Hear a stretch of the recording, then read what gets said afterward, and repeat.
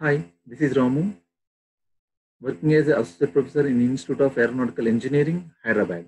Today, I'm going to start new course called C Programming Language. So, an introduction.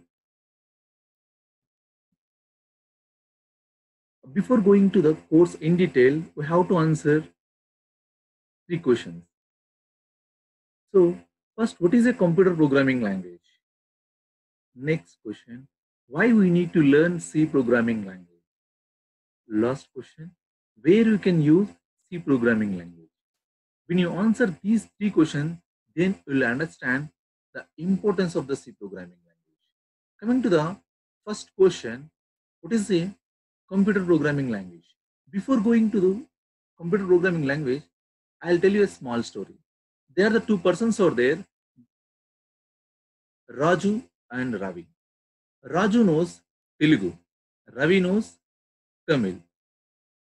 Raju speaks in Telugu something and Ra- Ravi speaks something in Tamil, but they don't understand each other because Raju doesn't know Tamil and Ravi doesn't know Telugu. There is a communication gap between the these two persons like that. So you know English, but computer knows computer language. What happened? You speak in English, the computer doesn't understand. So if you want to control, if you want to give the instructions to the computer, you should learn computer programming language. So there are so many computer programming languages are available in the market. C, Java, C++, Lisp, JavaScript, so many languages are available. But again, one more question. Why we need to learn C programming language? The programming language concept started in 1958 called ALGOL. Is that algorithmic based language. And the full-fledged language was developed by Dennis Ritchie in 1972 at Bell Laboratory. The programming languages which are using now, Java, Python, so all the languages base is the C programming language. But Sir, so many languages are available, advanced languages are available. What is the need to learn C programming language? So I'll ask one question. Suppose if you want to ride bike, you want to ride bike. Can you start with bike or bicycle? Yes, bicycle only. Why? Why means bicycle is somewhat safe.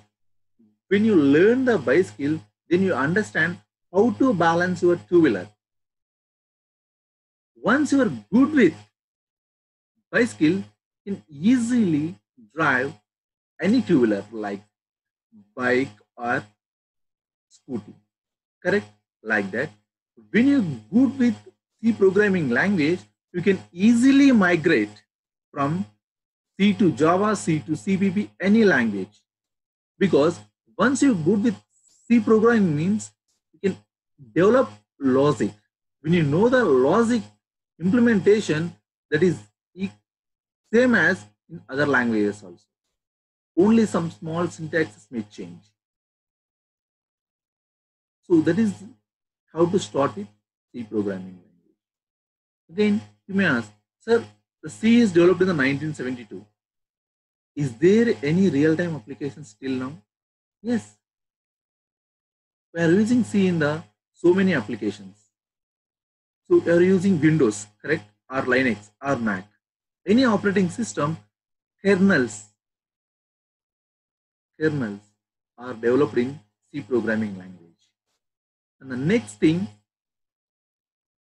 our iOS, mobile phones.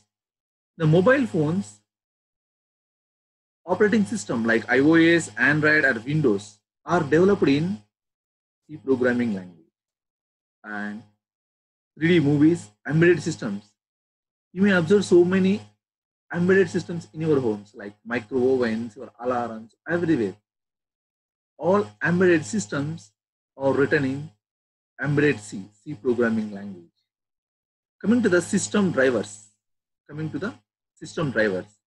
System drivers, when you install something in your computer, new device attached to your computer, you should install your drivers. Otherwise, it doesn't work. The drivers also written in C programming language. Next is the Python. Everybody talking about the Python, correct? The Python interpreter also written in C programming language and so many applications. I hope you may understand the importance of the C programming language. In the next class, we'll discuss C tokens and data types. Thank you. Thank you for watching.